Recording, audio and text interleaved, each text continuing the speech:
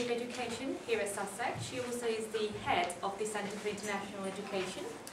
Um, a few words. Professor, Professor Dunne is a very prolific academic and an engaged advisor for a number of different bodies. Her research includes studies of social class, gender, sexuality and ethnicity, policy and practice in different contexts, including developing countries as well as the UK. We're very lucky to have you here today, Marie. Thank you.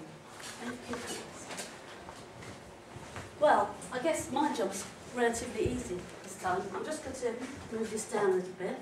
Um, and I've put the CIE website up there, um, just so that you can see what it looks like. But my first job is really just to invite you all, welcome you back again to uh, Sussex. And uh, it's really great to have interested people coming to talk all day about issues related to education and development. So I'm really pleased that you've come back for the second year in a row, so that's good. Um, and I just want to say that all the hard work that uh, the organisers have done in this is really appreciated, both from our point of view and I'm sure from all of yours. Um, I've got a few notes here so that I don't go off track because I'm sure there's people here thinking, oh my God, she's going to talk forever. Um, I won't, I'll try to be short. Um, um, and I think that in, in my, the history of my life as an academic is one that really appreciates the value of research. I'm really interested in uh, research and I'm really interested in postgraduate research because it's at this time you have the massive opportunities to actually engage with something that's directly of your interest where you can open up spaces. Perhaps later on you'll have much more confined ways of continuing your research but the space you have now grab it with both hands and enjoy it because it doesn't come that often.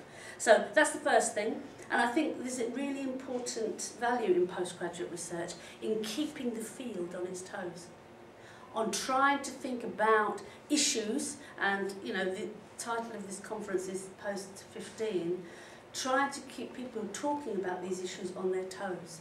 Not only because of what you're going to research, but also because there are new ways to research, and we are in desperate need of the generation of new knowledge of different voices, of linking what happens in the global south to what happens in the global north. These are all important things. Um, and I'm tempted to say in contemporary times, you know, there's lots of challenges to um, the role of research in supporting initiatives and energy and a commitment to uh, equality across the world globally. Um, research is important in that. We're facing um, rising levels of conflict in certain places. And of course, we're, we're faced with a new global context in which people move around a lot. It's not only uh, people who are doing academic study who move around, people move around, there's lots of migration flows, and there's important issues around identity and recognition, as well as the governance of education and uh, social provision that are really critical to the field that we're in. So all that you can do to help understanding of what's going on from multiple perspectives using different kinds of research approaches has to keep the field moving, has to keep it on its toes, has to generate new knowledge that we can understand and go forward.